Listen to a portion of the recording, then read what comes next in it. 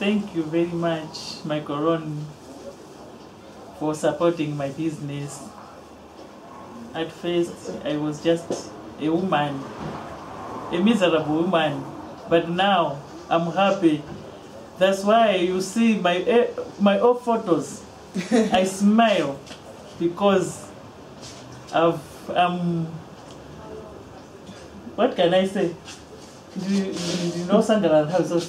You are very happy. I'm very happy, always, always. And my customers, I, I, I always maintain my customers. They don't leave me alone. They come very often. That's why I'm here. Thank you very much. Don't leave us. Continue giving us loans and continue adding more, more and more